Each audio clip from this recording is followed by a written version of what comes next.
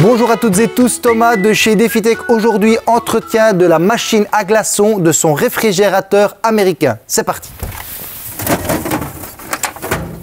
Alors un bon entretien est très important de votre machine à glaçons. C'est super simple, c'est gratuit, faites-le à la maison quand vous avez un frigo américain ou une machine à glace. Alors tout d'abord, à un moment donné, quand vos glaçons sont stockés trop longtemps, ils vont pas avoir bon goût.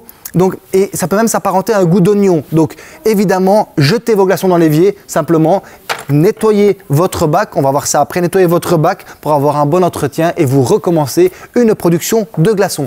Deuxième chose, et ça pour moi c'est la plus importante, quand vous laissez les glaçons stocker trop longtemps dans le bac, vous risquez d'avoir un bloc les glaçons vont finir par se former en bloc et vont bloquer la vis sans fin. Cette vis sans fin qui sert simplement à alimenter la machine à glaçons. Si vous bloquez la vis sans fin, d'abord vous n'aurez pas de glaçons et puis vous risquez peut-être de brûler le moteur de votre machine à glaçons. Donc c'est important pour ces deux raisons que si vos glaçons n'ont pas servi, à un moment donné, pour éviter les blocs et le mauvais goût, jetez vos glaçons dans l'évier, laissez dégivrer le bac si le bloc de glaçons s'est formé, ça c'est important, laissez dégivrer le bac et puis nettoyez-le, faites un bon entretien.